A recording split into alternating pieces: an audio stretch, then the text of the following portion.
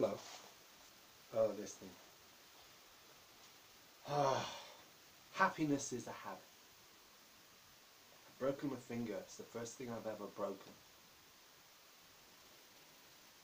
I've broken the, my programming. Now, whilst I've achieved a level of mastery over myself through self-discipline, circular reasoning. By disciplining myself, I become more disciplined.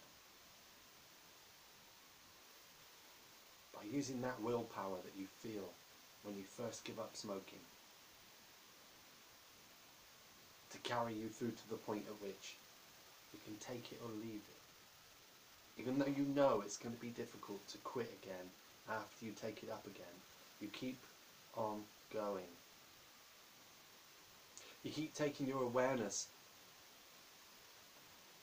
back to your breath, back to your heart, until it becomes a habit, habit forming, forming those paths of connectivity and communication within yourself, within your brain, neuronal firing patterns of electricity and energy. I believe in you. It's taken me a long time to get back my creativity and to have it be naturally occurring daily, hourly, minutely, moment by moment, in the now. It's not something I'm trying to do, it's something that's coming out of me. So, yes, you have addictions to different types of food, to different types of behavior, to things like nicotine and the additives within that tobacco. That's what helped me. And I know all these things about factory farmed food and processed food and stuff you buy in the supermarket. But luckily when I'm poor, I find it easier to quit smoking because I haven't got the money to buy it. And when I'm poor, I haven't got the money to go up the shops and spend money on crap food, crisps, chocolate bars. I make chocolate. It's in the fridge over the way. And my friend over there, this is her place. So I deliberately left it in the fridge. But I've got a little bit in a tin in the corner over there in the windowsill. So I can treat myself every now and again. I'm being hard on myself in order to give myself a break. I'm disciplining myself so that I don't need anyone outside of me, no government, no parents, no one else to give me my rules and regulations. It's natural law that applies to me. I wake up in the morning, I get up early, I stretch. I wake up naturally, slowly, stretching in bed. Hmm. Okay, now I'm ready to open my eyes. Now I'm ready to face the day, but I'm not going to jump out of bed. I don't have to. I've got no alarm. I can't do anything at the moment anyway, which is the universe telling me don't do anything. Get used to feeling lonely. Get used to missing people and reach out and say hi. Get used to not doing anything today apart from a load of pressure washing. Just made my fingers sore, but oh well. It's going to get better. I'm starting to do energy work. That's I'm feeling it within. I'm starting to connect. Not just to the earth, not just the source, but inside myself. I'm starting to become the energy that I feel in my hands when I do energy healing. And as a healer, yes, it looks bad that I've got a sling on and that I'm looking after myself. But I'm looking after myself. At last, I'm finally loving myself and caring enough about myself you know, today I had a really luxuriant bath. It didn't last long. I had a little bit of a soak in the warm water. I washed my hair. I washed myself. I touched every part of my body. Alright, I didn't actually wash and touch every part of myself. But I suggest you do get in touch with every single part of you. When was the last time you stroked the back of your own neck? When was the last time you washed every single inch of your skin? And slowly bathed it, gently, lovingly, with something to moisturize your skin. Some coconut oil, some olive oil in the bath water. There's nothing wrong with that. It's a bit greasy when you come to wash the bath down afterwards. Good habits are what replace the things that tell you that you're not good enough. Good thoughts change every negative thought into a positive thought, every negative image into a positive image.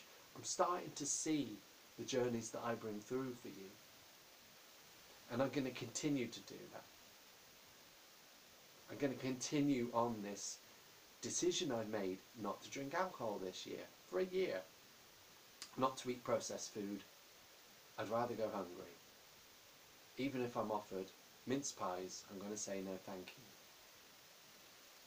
Occasionally, when offered something, I may agree, but I'm going to stand in my power more. I'm going to say how I feel. I'm going to say what I mean. And that can change from day to day. There's nothing wrong with today.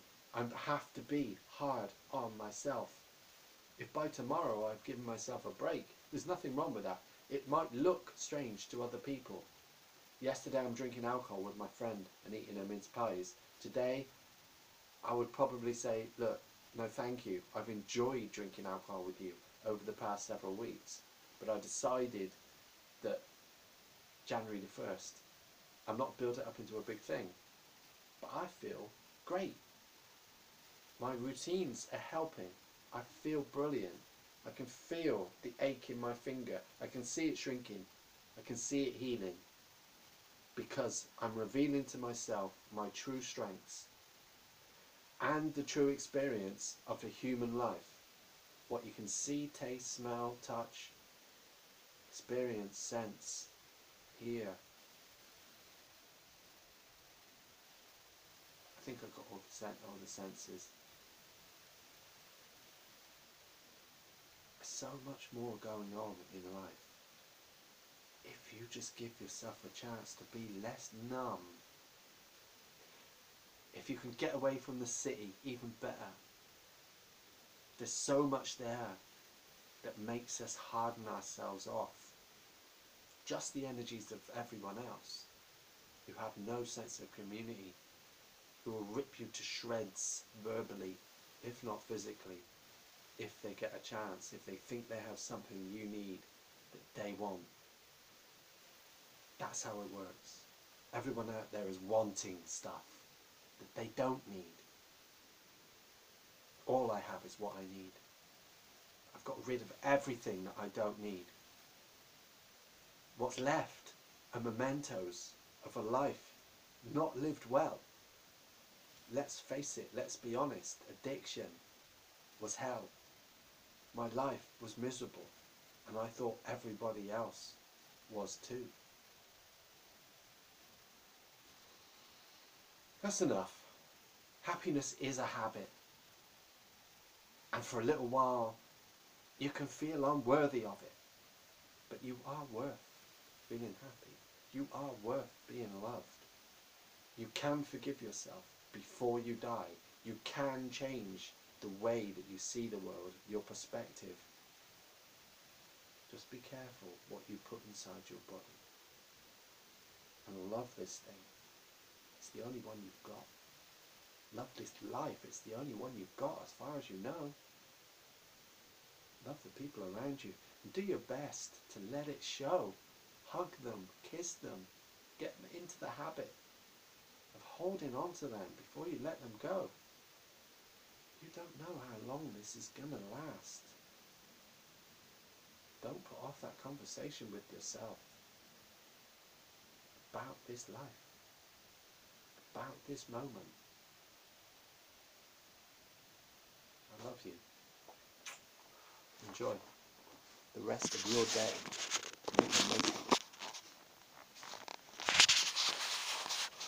Orange!